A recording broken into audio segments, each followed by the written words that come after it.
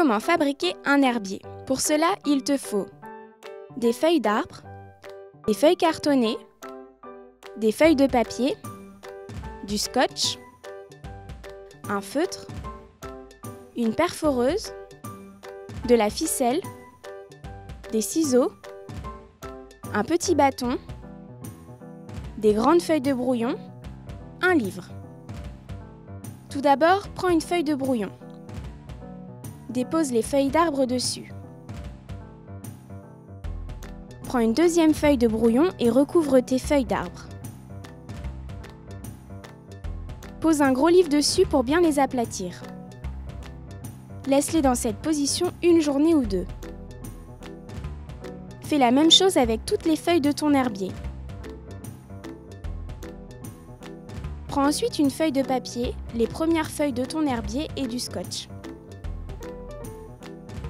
Positionne tes feuilles et colle les extrémités avec du scotch.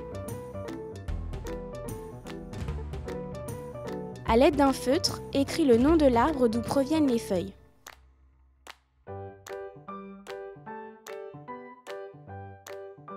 Fais la même chose avec tes autres feuilles d'arbre, colle-les et inscris le nom de l'arbre à côté. Lorsque tu as terminé, assemble tes pages ensemble. À l'aide d'une perforeuse, perce tes feuilles de papier ensemble. Prends deux feuilles cartonnées, perfore-les également. Place tes pages entre les deux feuilles cartonnées. Prends le petit bâton, des ciseaux et de la ficelle. Fais passer la ficelle par un des trous, entoure-la autour du bâton puis fais-la repasser par le deuxième trou. Fais ensuite passer la ficelle à nouveau dans le premier trou, puis dans le deuxième. Serre bien pour que le bâton tienne bien. Fais ensuite un nœud bien serré et découpe l'excédent de ficelle. Fais un joli nœud avec des boucles.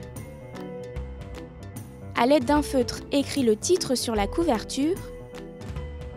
Mon herbier d'été, de printemps ou d'automne, par exemple. Voilà, ton herbier est terminé